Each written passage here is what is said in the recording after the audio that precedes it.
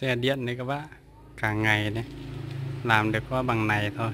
Nói chung là mình à, không phải là xưởng nhà máy của họ cho nên là làm nó cũng khó. Thứ hai nữa là nhà máy người ta cũng không chia sẻ công nghệ lắp ráp cho mình. Mua về tự thiết kế tự lắp lấy thôi. Đấy, nên là nhiều cái nó cũng không được à, nhanh lắm. Nhiều các bác bảo là chờ nên nốt phần tiếp theo nên mà lâu quá đây nhưng mà thực tế mình làm cũng rất là lâu.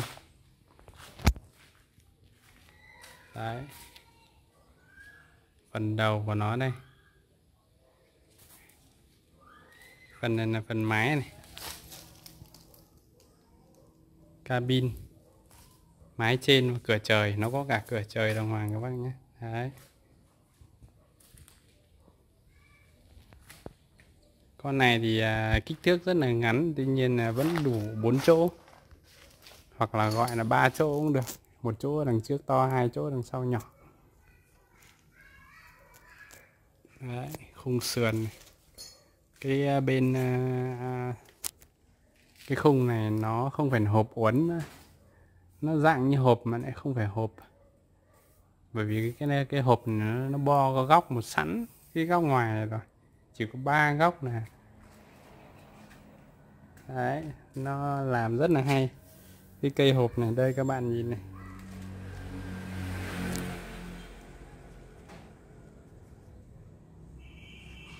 Cái cây hộp này của họ làm này. ba cạnh vuông. Duy nhất có cái cạnh này thì nó lại là lại bo tròn, cho nên khi nó lên xe này, nó nhìn khung nó vẫn cứ mềm mại.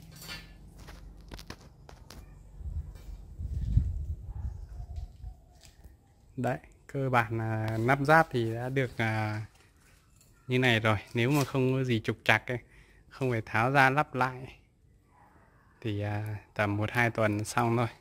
Tất nhiên là đối với nắp cái đầu tiên thì nó sẽ lâu. Mình còn phải tháo ra nắp lại nhiều chứ không phải là đã một cái là được ngay. Và có gì à, mình sẽ tiếp tục à, lên cái phần à, sau để các bạn à, tham khảo. Cái này thì nó cũng không có cái gì gọi là cách lắp đặt cả. Cơ bản mình cứ dựng sườn, dựng vách lên thôi, sau đó mình ốp yếc các thứ. Đến cái phần ốp ấy thì nó sẽ phức tạp hơn nhiều, bởi vì là có cái mình ốp trước, có cái ốp sau.